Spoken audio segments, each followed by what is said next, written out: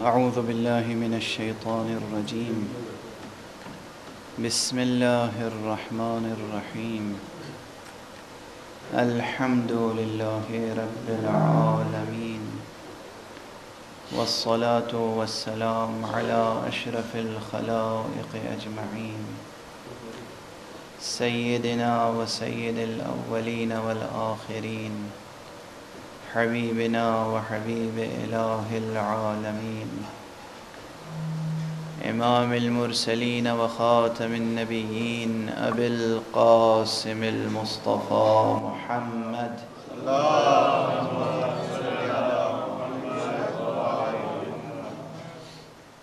وعلى أهل بيته الطيبين الطاهرين الهداة المهديين المعصومين المظلومين واللعنة الدائمة على أعداء الدين أجمعين.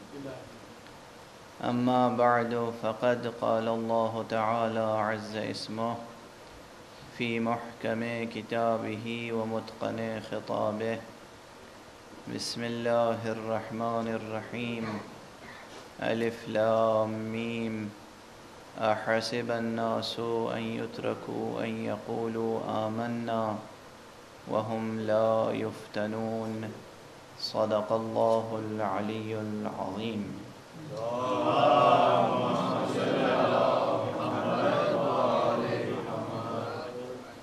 سورہ مبارک عنکبوت کے ضمن میں گفتگو جاری ہے۔ اور یہ بات آپ حضرات کے سامنے عرض کی جا چکی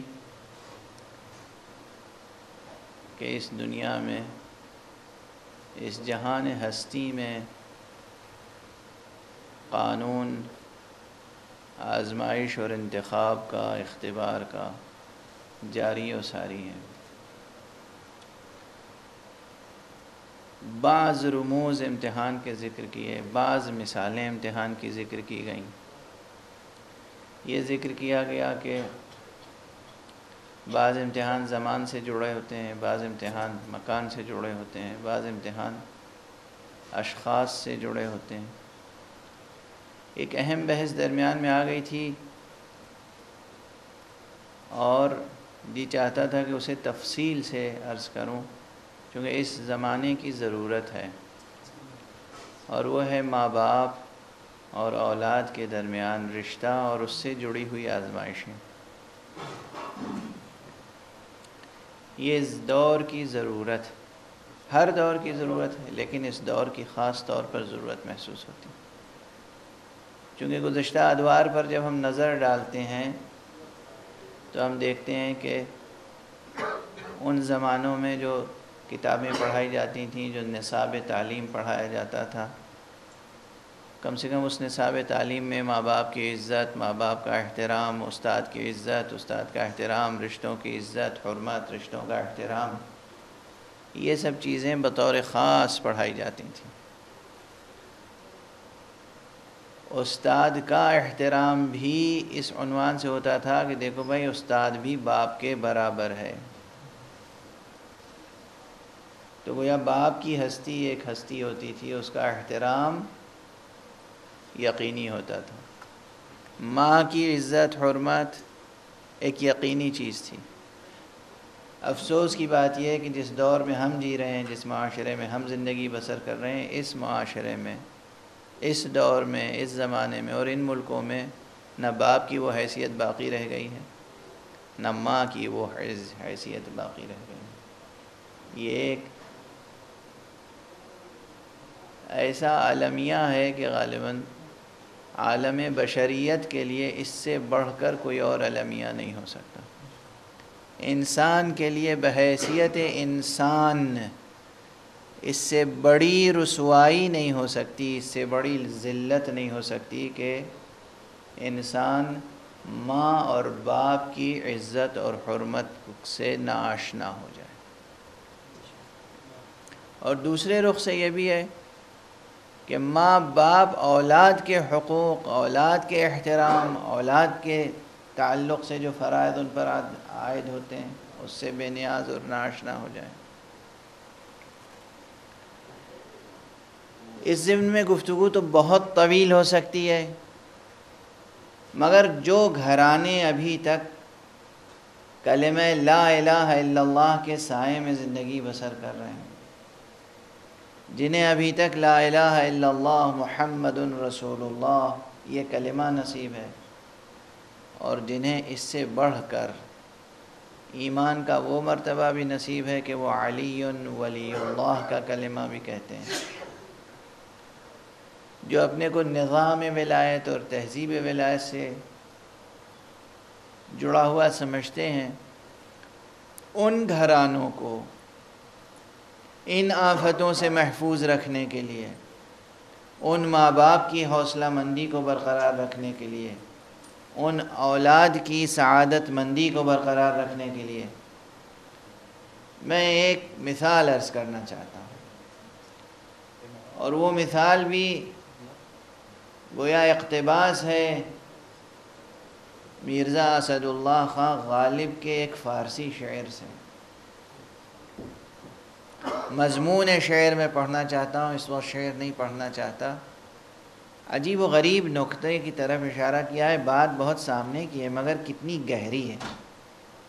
دیکھیے، دو امتحان تھے، دو آزمائشیں تھیں۔ ایک حضرت ابراہیم کا امتحان مشہور ہے، ایک حضرت اسماعیل کا امتحان مشہور ہے۔ مشہور ہے یعنی اگر ہم کربلا کو الگ رکھیں کربلا کو اگر الگ رکھیں جو کہ مستحق ہے کہ کربلا کو بالکل ان تمام سلسلہ امتحانات سے الگ رکھا جائے۔ اب یہ جملہ میرا ہی ہے، بہت پہلے عرض کیا تھا کہ کربلا امام حسین علیہ السلام کے لیے امتحان نہیں تھی۔ امام حسین علیہ السلام کی قربانی تھی۔ امتحان تو بقیہ افراد کے لیے تھی۔ مثلا مدینہ سے چلنا یہ اہل مدینہ کے لیے امتحان تھا۔ مکے کو ترک کرنا یہ اہل مکہ کے لیے امتحان تھا۔ یہ تفصیل سے یہ بحث الگ ہے۔ لیکن اگر کربلا سے ہٹ کر آپ دیکھیں تو سب سے بڑا امتحان جناب ابراہیم کا سامنے آتا ہے۔ آتش نمرودی میں ڈالا جانا۔ اس کے ساتھ ان کا یہ امتحان ہے، جو دو جانبہ ہے باپ کے لیے بھی امتحان ہے، بیٹے کے لیے بھی امتحان ہے۔ کہ باپ اپنے ہاتھوں سے بیٹے کو ذبح کرے، خواب میں دیکھا۔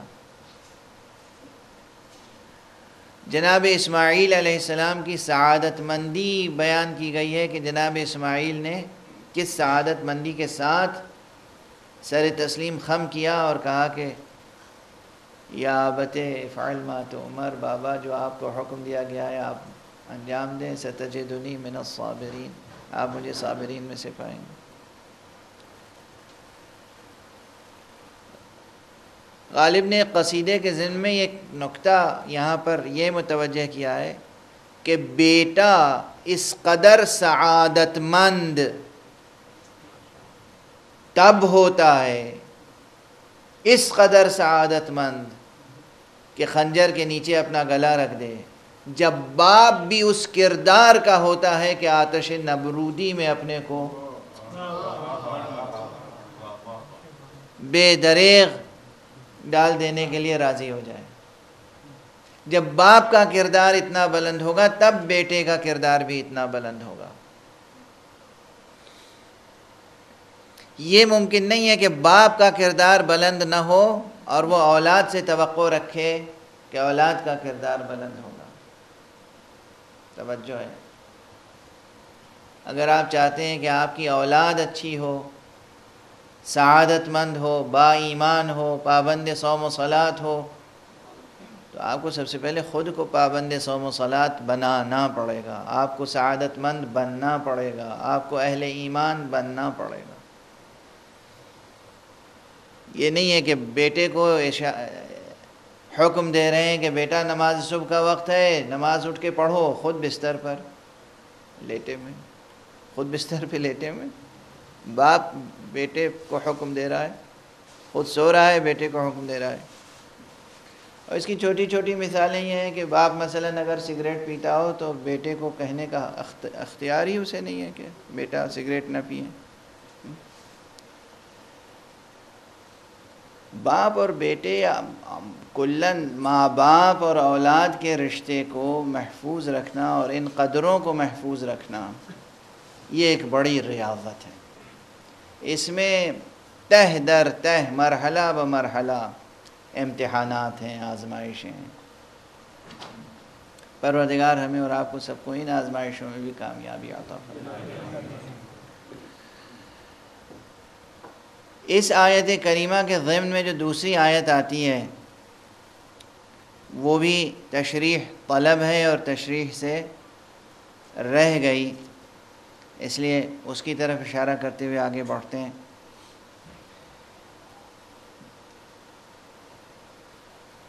جس انداز سے سورہ مبارک عنکبوت میں یہ کہا گیا ہے کہ ام حسب، ام احسب الناس ان یترکوا ان یقولوا آمنا وهم لا یفتنون کیا لوگوں نے یہ سمجھ رکھا ہے کہ وہ چھوڑ دیے جائیں گے صرف اتنا کہنے پر کہ ہم ایمان لے آئے اور آزمائش نہیں ہوگی؟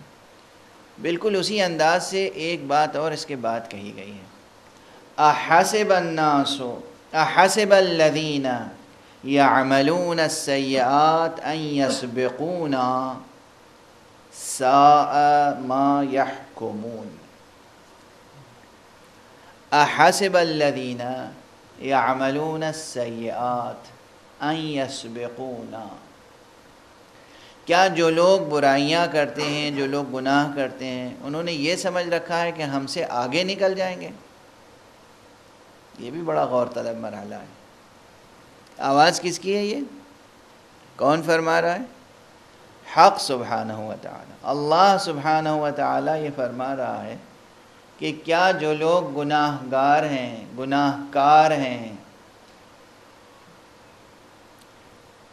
برائیاں انجام دینے والے ہیں، وہ یہ سمجھتے ہیں، ان کا گمان یہ ہے کہ وہ ہم سے آگے نکل جائیں گے۔ این یسبقونا۔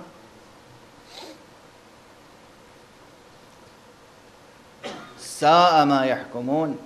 یہ جو فیصلہ کرتے ہیں، کیسا برا فیصلہ کرتے ہیں۔ کیسا برا فیصلہ کیے بیٹھے ہیں۔ ان دونوں مضامین میں ربط ہے، آزمائش اور امتحان کے مضمون میں، اور اس آیت کے مضمون میں ایک خاص ربط ہے۔ لیکن اس وقت جو مضمون ہے خود اس آیت کا، لفظ میں جو بات کہی گئی احسب الذین یعملون السیئات ان یسبقونا یسبقونا سبق یسبقو سبق یعنی آگے بڑھ گیا، آگے نکل گیا۔ اب یہ گویا ایک معقول حقیقت کو محسوس مثال سے سمجھا رہا ہے قرآن مجید۔ بات اللہ سبحانہ و تعالیٰ کی ہے۔ لیکن آپ تصور کریں کہ جیسے آگے آگے کوئی چلا جا رہا ہے، دوڑا جا رہا ہے، بھاگا جا رہا ہے اور وہ چاہتا ہے آپ کی گرفت سے بچ جائے اور پیچھے پیچھے آپ دوڑ رہے ہیں اس کو پکڑنے کے لیے۔ وہ آگے بھاگنے والا یہ سمجھ رہا ہے کہ ہم نکل جائیں گے، بچ جائیں گے۔ یہ ایک تشبیح ہے۔ جو چھپی ہوئی ہے اس لفظ میں۔ یہ لوگ جو دنیا میں اپنے اقتدار میں مست ہیں، اپنے سرمائے پر نازا ہیں، اپنی اپنی قضائی تدبیروں پر نازا ہیں، اپنی دنیاوی عقل پر نازائیں دنیا پرس عقل پر نازائیں کیا یہ سمجھے بیٹھے ہوئے کہ یہ دست قدرت الہیہ سے بچ جائیں گے۔ یعنی اللہ کے قابو سے یہ نکل جائیں گے۔ یہ ممکن نہیں ہے۔ یہ ممکن نہیں ہے۔ یہ لفظیں بدل بدل کر قرآن مجید میں یہ مضمون دوسری جگہوں پر اس طرح بھی آیا ہے کہ کیا یہ سمجھتے ہیں کہ ہمیں عاجز کر دیں گے؟ کیا یہ سمجھتے ہیں کہ ہمیں عاجز کر دیں گے؟ ہمیں بے بس کر دیں گے یہ؟ یہ نہ ہمیں عاجز کر سکتے ہیں، نہ ہمارے قابو سے باہر جا سکتے ہیں۔ یہ جو فیصلہ کیے بیٹھے ہوئے ہیں، یہ غلط فیصلہ ہے۔ یعنی انہوں نے ہماری قدرت کے بارے میں غلط اندازہ لگایا ہے۔ قدرت الہیہ کو سبک جانا ہے، محدود سمجھا ہے۔ دوسرے رخ سے قرآن مجید نے یہ بالکل ابتدائی مرحلہ ہے اس بحث کا اور بالکل انتہائی مرحلہ وہ ہے جہاں قرآن مجید نے کہا ہے کہ وما قدر اللہ حق قدر انہوں نے اللہ کی قدر نہیں کی جیسی قدر کرنی چاہیے تھی۔ یہ سرا ادھر کا ہے، وہ سرا ادھر کا یہ بحث کہاں سے کہاں تک یہ بحث دراز ہے؟ ایک طرف یہ ہے کہ یہ جو بدکار ہیں، یہ جو بدعمال ہیں، یہ جو برے کام کرنے والے ہیں، یہ کیا سمجھتے ہیں؟ سمجھتے ہیں ہمارے قابو سے نکل جائیں گے، ہماری گرفت سے نکل جائیں گے، ہم سے آگے نکل جائیں گے، یا ہمیں عاجز کر دیں گے؟ ہرگز نہیں۔ دوسرا سرا وہ ہے کہ انہوں نے جیسی قدر کرنی چاہیے تھی، قدر کی نہیں۔ اللہ کی قدر نہیں کی۔ یہ ایک بہت بڑی بحث ہے۔ اس میں اگر اس بحث کو حل کر لیا جائے اور سمجھ لیا جائے تو بہت سے وہ شکوک و شبہات جو ذہنوں میں آتے ہیں اور انسان کبھی کبھی گیلا مند ہو جاتا ہے، شکوہ سنج ہو جاتا ہے اپنے رب سے، اپنے خالق سے۔ وہ گلے شکوے دور ہو جائیں گے۔ خالق سے بندے گلے گلا مند ہوتے ہیں اور ہونے کا حق ہے۔ اگر رشتہ محبت کا درمیان میں ہے تو گلے تو پیدا ہوں گے۔ اگر محبت کا رشتہ درمیان میں ہے، وہ رہنا چاہیے۔ بندو، اس ناز بندگی کو پیدا کرو کہ رب سے روٹنا بھی سیکھو۔ رب سے زد کرنا سیکھو۔ وہ ناز بندگی پیدا کرو۔ یہ ناز بندگی وہیں پیدا ہوتا ہے کہ جہاں آزاد مردوں کی زندگی ہوتی ہے۔ کل جو جملہ میں عرض کر رہا تھا، آزاد مردوں کی زندگی، احرار کی زندگی، مرد حر کی زندگی۔ جہاں لالچ سے عبادت نہیں ہوتی، جہاں خوف سے عبادت نہیں ہوتی۔ جہاں یہ ہوتا ہے کہ وہ مستحق ہے عبادت کا، اس لیے عبادت کر رہے ہیں۔ اس کے علاوہ کوئی نہیں ہے جس کے آگے ہم سر جھکائیں۔ وہی مستحق ہے کہ اس کے آگے سر جھکائیں، اس لیے سر جھکاتے ہیں۔ یہ اگر ذوق پیدا ہو جائے، محبت پیدا ہو جائے، تو جہاں محبت ہوگی، وہاں گلے ہوں گے۔ گلے ہوں گے۔ قہری طور پر ہوں گے۔ سند میں پوری دعائے کمیل پڑھ لیجیے۔ دعائے کمیل، دعائے افتتاح میں، یہ دعائے افتتاح جو روزانہ آپ پڑھتے ہیں، یہ معصوم نے تعلیم فرمائی ہے دعا۔ اس میں بھی یہ مضمون موجود ہے، پروردگار، میں بندہ ہو کر، حقیر بندہ ہو کر کبھی کبھی تجھ پہ قہر کرتا ہوں۔ یہ قہر کیا ہوتا ہے؟ یہ گلے ہوتے ہیں، یہ شکوے ہوتے ہیں۔ اگر یہ گلے شکوے دل میں پیدا ہوں تو فوراً اپنے ایمان پہ شک نہ کیجیے گا کہ کیا نعوذ باللہ میں ایمان۔ مجھ سے رخصت ہو گیا؟ ہاں یہ گلے شکوے اتنے نہ بڑھ جائیں کہ واقع آپ دائرہ ایمان سے نکل جائیں۔ مثلا گلے شکوے مومن کے دل میں عام طور پہ یہ پیدا ہوتے ہیں کہ پروردگار، تو قادر مطلق ہے، پھر بھی ظالموں کی رسی دراز ہے۔ پروردگار، محمد تیرے محبوب ہیں، تو نے کیسے برداشت کیا کہ تیرے محبوب پر ظلم ہو؟ ایک یہ بھی ہوتا ہے۔ پروردگار، یہ تیرے اولیاء زندگی میں بھی مظلوم رہے اور اب ان کے مزارات پہ بھی ظلم ہو رہا ہے۔ پروردگار، تو قادر مطلق ہے۔ معبود، یہ کیا ہو رہا ہے؟ کیوں ہو رہا ہے؟ یہ گلے پیدا ہوتے ہیں، یہ شکوے پیدا ہوتے ہیں، یہاں شبہات پیدا ہوتے ہیں۔ انہی مرحلوں میں شیطان کو موقع مل جاتا ہے۔ اچھی طرح مومن کو گمراہ کرنے مثلا، ابھی سید زینب سلام اللہ علیہ کے مزار مقدس پہ بے حرمتی کی کوششیں ہو رہی ہیں۔ اس سے پہلے حضرت حجر ابن عدی رضوان اللہ تعالی علیہ، حضرت حجر علیہ السلام، ان کے مزار سے بے حد بھی کی گئی۔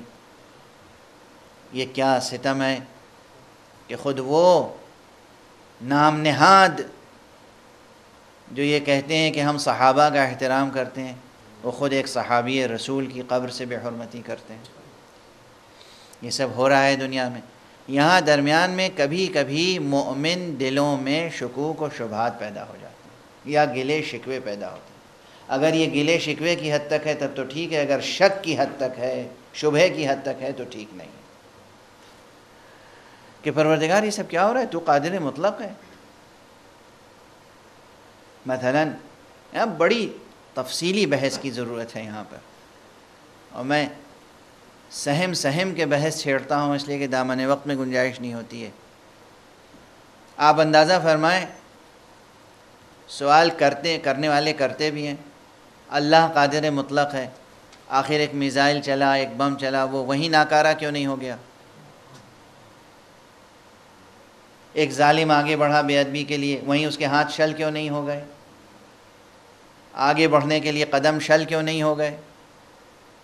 حملہ آور بغیر کسی مقابلے کے وہیں خود ہی منہزم کیوں نہیں ہو گئے؟ پسپا کیوں نہیں ہو گئے؟ یہ سب شکوک ہیں۔ اللہ کو مگر رسول اور آل رسول سے محبت نہیں ہے۔ ہے ذریت طیبہ پیغمبر صلی اللہ علیہ وسلم سے محبت۔ پھر یہ سب کیا ہو رہا ہے؟ یہاں محبت، حرمت، عزت، احترام سب کچھ اپنی جگہ موجود ہے۔ یہ ایک ہی عمل ہے، ایک ہی مظہر ہے، لیکن اس سے نہ جانے کس کس زاویے سے کس کس کا امتحان ہو رہا ہے۔ آزمائش ہو رہی ہے۔ کون کون کامیاب ہو رہا ہے، کون کون ناکام ہو رہا ہے۔ آپ کا جو دل دکھتا ہے اس دل دکھنے کا بھی اجر و ثواب ہے۔ اگر کوئی زبان سے ظلم و ستم کے خلاف کچھ کہتا ہے، اس کا بھی اجر و ثواب ہے۔ کوئی کچھ کرنے کی قدرت و استطاعت رکھتا ہے، وہ کرتا ہے، اقدام کرتا ہے، جس حد تک کر پاتا ہے، اس کا اجر و ثواب ہے۔ ایک ہی تاریخی منظر نامے میں نہ جانے کن کن کی آزمائشیں ہوتی ہیں۔ کون کون سے کتنے چہرے پہچانے جاتے ہیں اور ہر ایک پر حجت الہیہ ایک خاص انداز سے تمام ہوتی ہے۔ ایک عظیم حکمت ہے، ایک عظیم حکمت ہے۔ اس حکمت کو سمجھنے کے لیے فکری حوصلہ مندی درکار ہے اور عرفانی حوصلہ مندی درکار ہے۔ لیکن اس سب کے باوجود یہ اعلان اپنی جگہ ہے کہ جو بھی ستمگار ہیں، جو بھی غالم ہیں، وہ پروردگار کے دست قدرت سے بچ نہیں سکتے۔ کیا نمرود بچ گیا، یا حامان بچ گیا، یا شداد بچ گیا، یا فرعون بچ گیا، جو آج کے یہ فرائنہ بچ جائیں گے؟ ہرگز نہیں۔ ممکن نہیں ہے کہ یہ عذاب اخروی سے اور عذاب دنیاوی دونوں سے بچ جائیں۔ عذاب دنیاوی بھی اور عذاب اخروی بھی۔ ان تمام مراحل میں توجہ رکھیے گا۔ کل کی گفتگو کو اب آگے بڑھا رہا ہوں۔ ان تمام مراحل میں یہ آزمائشیں، یہ ستم، یہ ظلم، یہ جور، لقاء رب کی گنجائشیں ہر جگہ موجود ہیں۔ ایک مرد مؤمن مجاہد عارف عین میدان کارزار میں حق کا مشاہدہ کرتا ہے۔ ایک مؤمن ممتحن جس کا امتحان ہو رہا ہے، وہ معرض امتحان میں حق کا مشاہدہ کرتا ہے۔ بشرطے کہ وہ دل کی آنکھیں کھلی ہوئی ہوں۔ بشرطے کہ اس نے اس نصاب کو پڑھا ہو، نصاب قرآنی کو اور مکتب اہل بیت میں پڑھا ہو۔ کہیں اور نہ پڑھا۔ اگر نصاب قرآنی پڑھا ہے اور مکتب اہل بیت میں پڑھا ہے تو مشاہدہ حق کے لیے در اور دریچے کھلے ہوئے ہیں۔ حق غائب نہیں ہے، ذات حق سبحانہ و تعالی غائب نہیں ہے۔ ہرگز غائب نہیں ہے۔ امام حسین علیہ السلام کا ایک جملہ معروف و مشہور ہے کہ پروردگار، جس نے تجھے نہیں پایا، جس نے تجھ کو نہیں پایا، اس نے کیا پایا؟ اسی طرح معصوم ہی کا ایک جملہ ہے کہ جس نے تجھے نہیں دیکھا، اس نے کیا دیکھا؟ حق آشکارا ہے، ذات حق آشکارا ہے۔ اب یہ بحث بڑی سخت ہے، مشکل ہے۔ یہی وہ بحث ہے جس بحث کو فکری طور پر طے کرنے میں نہ جانے کتنے گمراہ ہو گئے اور کتنے منزل تک پہنچے۔ یغل بھی کثیرن وحدی بھی کثیرہ کا مضمون ہے۔ جو قرآن مجید کی آیت ہے۔ قرآن مجید کی ایک صفت ہے کہ اسی سے نہ جانے کتنے گمراہ ہو جاتے ہیں، نہ جانے کتنے ہدایت پا جاتے ہیں۔ یہ قرآن کی صفت ہے۔ ایسے ہی یہ مضمون رویت حق، دیدار حق، لقاء حق، ملاقات پروردگار۔ کل میں نے مختلف تقریب ذہن کے لیے مثالیں دی تھیں۔ آج بھی مثالیں دے رہا ہوں۔ ایک مثال آپ سب حضرات بیدار ہیں، آپ کی فکریں بیدار ہیں، احساسات بیدار ہیں، اس لیے اس مثال کو اچھی طرح سے اگر سمجھ لیں گے تو میں سمجھتا ہوں کہ ایک مرحلہ بحث کا طے ہو جائے گا بغیر اصطلاحی بحثوں میں الجھے ہوئے۔ کتاب میں، کتابوں میں، اخلاقی کتابوں میں یا ویسے ہی سچ یا صدق، اس کی تعریف کس نے نہیں پڑھی ہے؟ سب پڑھتے ہیں۔ سچ اچھی چیز ہے، سچ اچھی صفت ہے، سچ بولنا مطلوب الہی ہے اصلا فطرت انسانی سچ بولنے کو پسند کرتی ہے اب کسی کے بارے میں کہا جائے کہ فلاں صاحب سچے ہیں، صادق ہیں۔ تو یہ ایک لفظ ہے جو آپ کے سامنے آیا کسی شخص کے بارے میں کہ فلاں سچے ہیں۔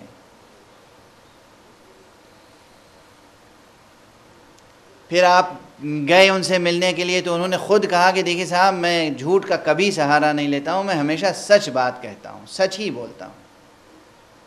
آپ نے یہ تین مرحلے کتاب میں سچ کی تعریف پڑھی، سچ کا لفظ پڑھا، ایک مفہوم ذہن میں آ گیا۔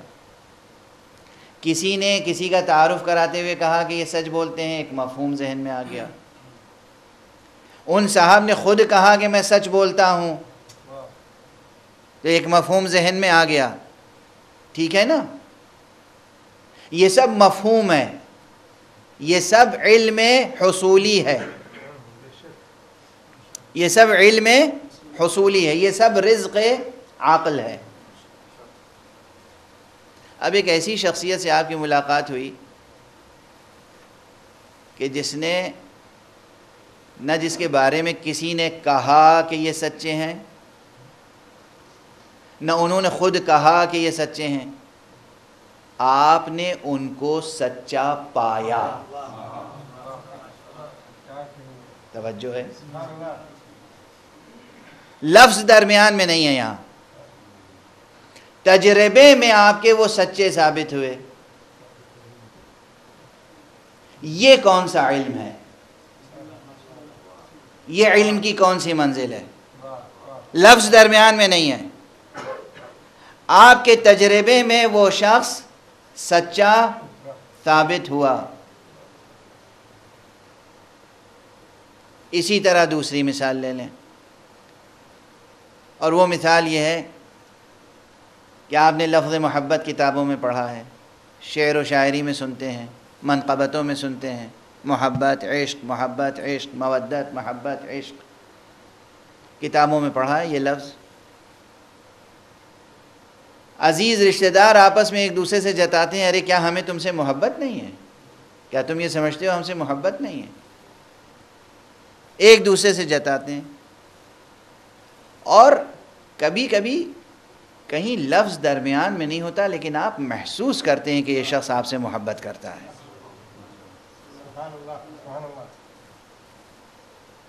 محبت کا وہ تجربہ جو بغیر لفظ کے ہوتا ہے اور محبت کا وہ علم جو لفظ کے سہارے سے آپ تک آتا ہے۔ ایک عزیز کہتا ہے کہ میں آپ سے محبت کرتا ہوں۔ اگرچہ یہاں پہ درمیان میں ایک فقرہ عرض کر دوں، یہ بھی مضمون حدیث ہے۔ معصومین علیہم السلام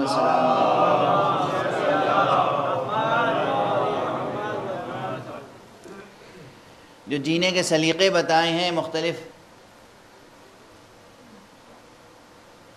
مواقع کے لیے مختلف تعلیمات سکھائی ہیں اس میں یہ بھی ہے کہ اگر تمہیں کسی سے محبت ہے، تو تم اسے بتاؤ کہ تمہیں اس سے محبت، تم کو اس سے محبت ہے۔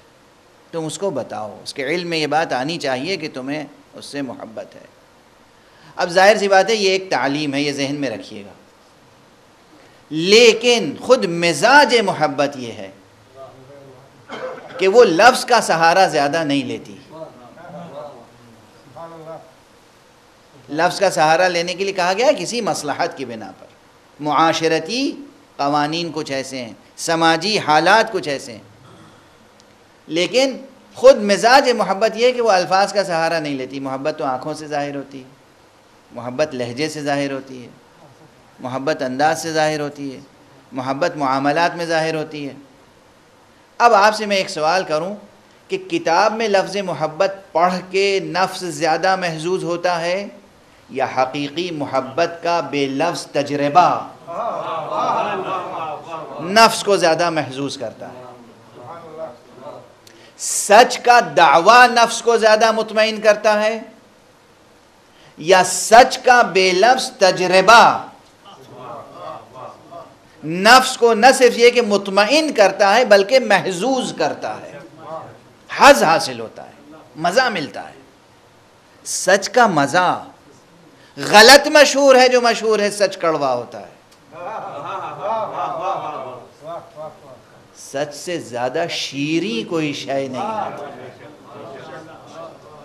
غلط مشہور ہے۔ غلط مشہور ہے، سچ کڑوا ہوتا ہے۔ سچ کڑوا ہوتا ہے جھوٹوں کے لیے۔